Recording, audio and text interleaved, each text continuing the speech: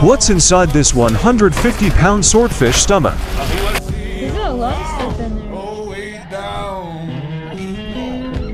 there. Lots of like ribbon fish. It's basically just all ribbon fish.